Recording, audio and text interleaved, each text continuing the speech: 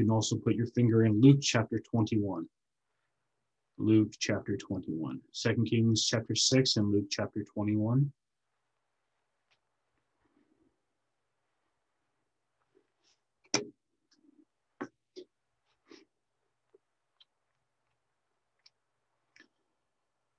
All right, so Luke chapter, or sorry, King, Second Kings chapter 6, we'll begin reading verse number 15. And it says, And when the servant of the man of God was risen early and gone forth, behold, an host compassed the city both with horses and chariots. And the servant said unto him, Alas, my master, how shall we do? And he answered, Fear not, for they that are with us are more than they that are with them. And Elisha prayed and said, Lord, I pray thee, open his eyes that he may see. And the Lord opened the eyes of the young man, and he saw, and behold, the mountains were full of horses and chariots of fire round about Elisha. Also, then skipping over to Luke chapter 21 and reading just one portion of scripture, uh, verse number 28. And it says, And when these things begin to come to pass, then look up and lift up your heads, for your redemption draws nigh. Lord, I pray that you will be with us today, that you will let, let us receive what your word is for us today, and that you will anoint my mind and anoint my heart in Jesus' name. Amen. I would say God bless you, may be seated, but most of you already are. So, for the next little while, I'd like to speak on just two words look up. So, in our world today, we have many things that are going on. We have political unrest, especially here in the States. Things are uh, happening that are unsure. There's earthquakes that are happening at an alarming rate. More and more each day are going on. Threatenings of food shortages and even the news articles are stating that the food shortages that are coming are of biblical proportions. You have these uh, different wars that are going on or the threatenings of wars. You have all kinds of different things that are impacting our lives and are creating an environment that is, needless to say, is uncertain and uneasy. We have the effects of the coronavirus uh, which, you know, thus being on Zoom, it's one of the effects of it, but also the fact of there's increased amount of anxiety. People are living in fear. They are unsure of what will happen next. They don't know where to go, and they're being engulfed by depression and anxiety.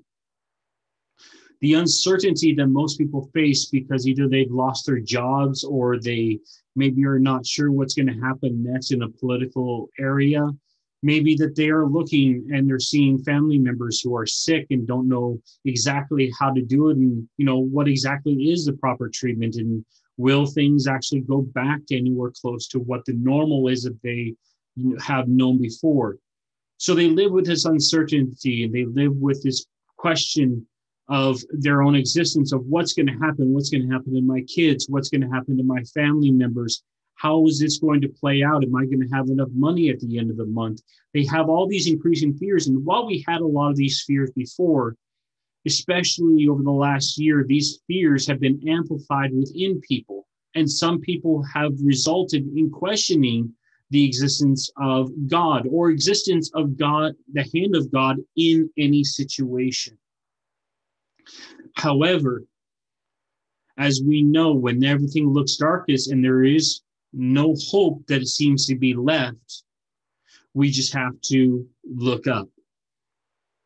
See, a few months ago, we began, uh, we did a series on the end times where we focused and uh, looked at the end times through the lens of Matthew 24 and Revelation chapter 7, 5 through 7. Since we are discussion, uh, tensions have risen throughout the world. I just named a few of them earlier.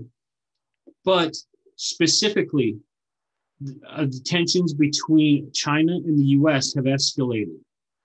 The tensions with Iran have escalated, both of which there are uh, top officials predicting war, either with Iran or with China. There are top uh, political officials and military officials who are predicting that as early as six months to a year from now, obviously that's their prediction, no guarantee of it, that a geopolitical incident on the magnitude of World War One or World War II will happen between the US and China. If you recall back to our discussion of that, that would be the red horse, in my personal opinion. Additionally, global elites and governmental leaders are freely discussing the topic of what they're calling the Great Reset. This is where they take the current monetary systems and basically make them worthless and transfer the entire wealth and prosperity of um, what once was the US Canadian dollar, the pound, the euro, the Chinese yen, all these different currencies, and switch to a different way of looking at a different way of using it, which would then usher in a heightened state of inflation and all kinds of um, food shortages because people would not be able to pay for it. And they're saying that this is coming and that this is an opportunity for them to reset how everything is going to look in the world and how everything is seen in the world. We know that biblically, a financial reset would be seen through the eyes of the black horse in the book of Revelation.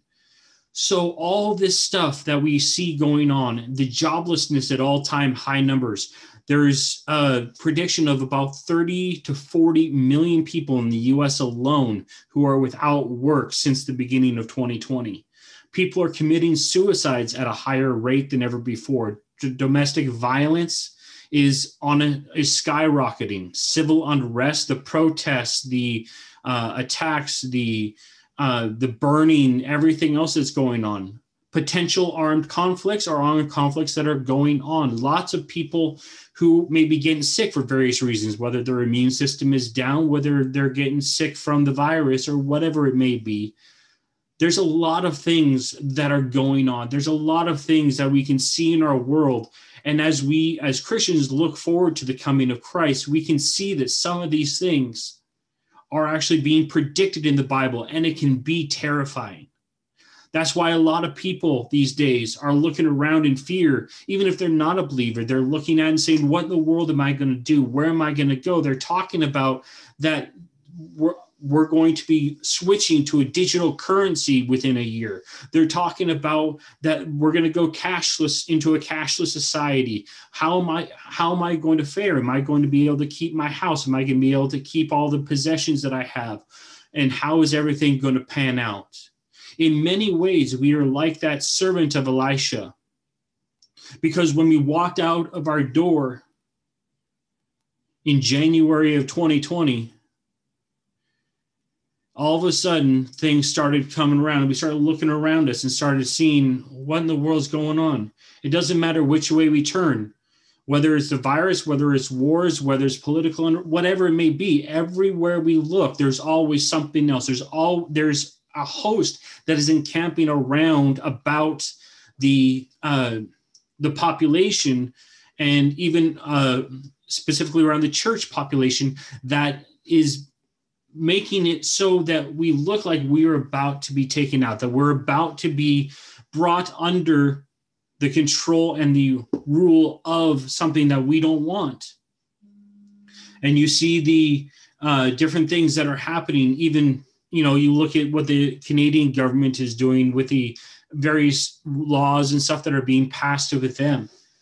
And it's not, there's not a lot of hope that could be said as far as the world is concerned when looking around.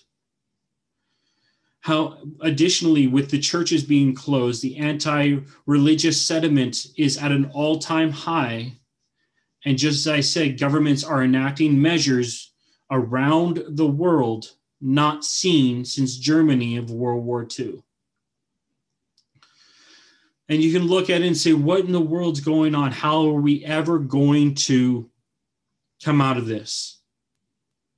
But just like Elisha said to his servant, he prayed that God would open his eyes because even though we may be looking at situations that are beyond our control, we can't control what the government does. We cannot control a lot of what's going on around us. We cannot control what's happening in the situations that we find ourselves in. We may be locked into a a uh, deadly clash with our adversary spiritually uh, speaking and we may not know what to do but the thing is, is we have to see that there is a greater purpose, that there is a greater thing, that there is more that is with us than they are with them. There is more that is protecting us than what's going on. Yeah, things can be scary, but the thing is, is God is not the author of fear. According to Second Timothy chapter 1, beginning at verse number seven, it says, For God hath not given us a spirit of fear, but of power and of love and of a sound mind. Be not thou therefore ashamed of the testimony of our Lord, nor of me his prisoner. But be thou partaker of the afflictions of the gospel according to the power of God. Paul is writing to Timothy, his son in the gospel, and he is saying, Don't be, don't let fear be consumed about what might happen to me. Don't worry about the fact that I'm in jail in Rome right now and it doesn't look like I'm getting out. Don't be concerned with that.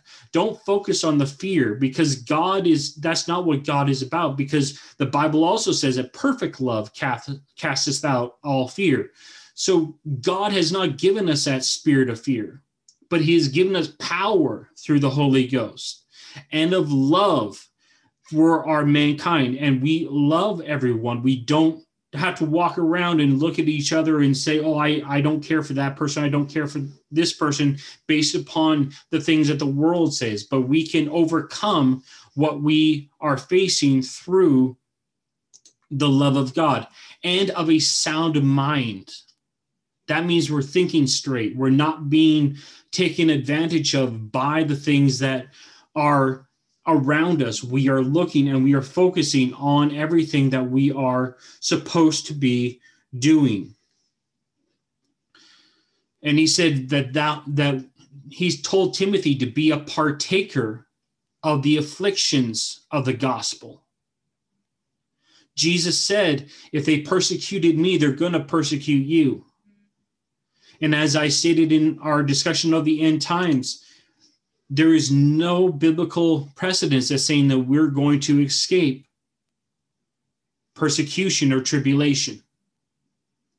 But we can approach it looking at it through a different light than what most of the people in the world look at it. See, right now they're looking at it through their eyes of fear. They're looking at it through eyes of terror. They're looking through eyes of uncertainty. But we can look at it through God's coming back. Because as it said in the book of Luke, chapter 21, it says, When you see these things begin to happen, look up. Don't focus on what's happening. He said, Look up because your redemption draws nigh. So it means that God is coming soon. It means that we can take solace in the fact it doesn't matter what happens here on earth because man can only touch our physical bodies. But if we know that ultimately we will be with him for all of eternity, that is our hope. First Thessalonians chapter 4, where it talks about the rapture. And it says that God's going to come back and that we will be captured away to be with him. First Thessalonians chapter 4 and verse 18 says, Comfort one another with these words we are to comfort ourselves with the fact that in the impact and in the absence of earthly hope, we have an eternal hope. So, yes, there may be a situation where it becomes outlaws to be Christians, but we know that it doesn't matter what actually ultimately happens because we will be in heaven but we cannot be comforted or avoid the feeling of fear if we are looking at the problems. It wasn't until Elisha's servant looked up at the army that was surrounding the horses and chariots of fire that were there to protect them that he was able to get above his fear and get above his hysteria and get above the situations that we find ourselves in. So that's why it is so important. And Luke chapter 21 is another chapter that discusses end time situations. It talks about the different things that will happen. And that's why it says at the beginning of these things because our only source of hope, our only source of peace is in Jesus Christ. And the only way we're going to see him and the only way we're going to see it happen is if we look up. It's not about what we have to endure during this time. It's not about whether or not things go perfectly for us because the Bible says it rains on the just and on the unjust. But where, where we are going in regards to the situations that we find ourselves is not going to be too different to the book of acts. Is not going to be too different to the dark ages. The the persecution that it has the apostle the apostles in acts the book of acts thank god for being counted worthy to suffer for his name so it's not about what happens to us and whether or not we come out of this unscathed before we pass on to our eternal reward. But it's about the fact that our focus has to be upward. Our focus has to be on the fact that regardless, it doesn't matter what happens here, it's about what's coming and it's about where it's going to go. There was this old story about an elderly lady who uh, attended a church for many, many years. And she fell ill. This was a long time ago. The doctors tried to get her well. They tried everything that they could. They couldn't figure it out. Finally, news came to her saying, it's terminal. You're not, you're not going to make it. The, we, we found that you have cancer and the cancer has just, it's, it's gone too far there there's no hope of surviving this attack. So as she was preparing everything and getting ready her pastor came over to visit. And as they talked they just she began to discuss how she wants everything to be done the situations her funeral the the eulogy the proceedings, who would speak. She went over everything. They sat there for a while and prayed together. And then, as the pastor turned to go, she called him back and said, Oh, but pastor, before you close the casket, I was wondering if you could put a Bible in my left hand. I want to be buried with my Bible the pastor nodded, uh, understanding this request and realizing that, you know, it's our grasp of hope and our grasp of the future. He said, Of course I will, and started to leave. But she called him back one more time. And she said, Pastor, along with the Bible in my left hand, I would like you to place a fork in my right hand. The pastor sat silent for a minute he's like, you know, I've done a lot of funerals and there's been many strange requests, but I've never had a request like this. Why, may I ask, do you want a fork to be placed in her hand, in your hand? She looked up at him with almost a far off glaze.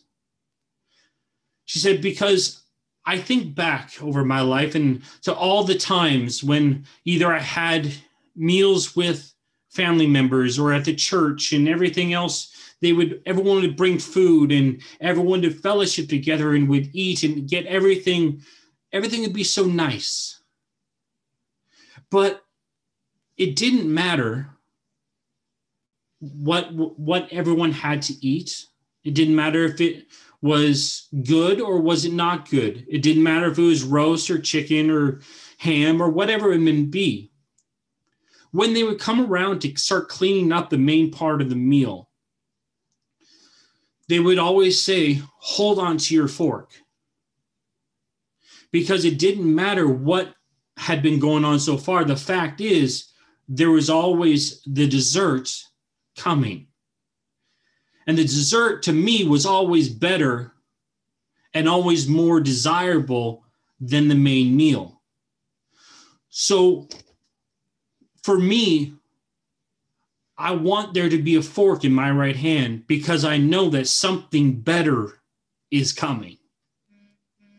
There's always something better on the way. There's always something that I can look forward to. So I got my Bible and I know that even though this life was good, that even though this, everything I've had, all my experiences and all the situations that I've had in my life are fantastic, and my family is amazing, and my uh, friends are amazing, and everything around me is always so good, I can look forward to the fact that something better is coming. Just like that story, we need to have that viewpoint and that mindset that if we are right with God, if we are where we are supposed to be, then even if we have to prepare things in this earthly time frame that may not be pleasant like funerals or we have to go visit people who are sick we can know that ultimately there is something better coming. There is something better that's on our way and we can keep looking up towards what is coming so as we face this times, we can know two things for sure. One, that we need to be ready for the trumpet to sound. That is the number one thing that we need to be ready for. And two, that we are focused on Him and what He can do and where we're going instead of on the situations and the circumstances that surround us the road ahead is not going to be easy. But if we know our des- final destination, then we can walk through it with confidence, knowing that He will be there, knowing that He will never leave us, He will never forsake us, regardless of what situation is going on. We can hang on to that fork, knowing that the next thing to come, regardless of the pain in our current life, is going to reach and be what we ultimately want it to be. We can focus on the good and not the bad. So tonight, I'm here to encourage you that regardless of the situation that you find yourself in, regardless of the situation that the world finds themselves in or what might happen tomorrow, God knows what is happening. He knows and is in con- as and is in control. And we can trust his plan because he sets things up and he takes it down. So regardless of what happens we know that ultimately god's plan is being done.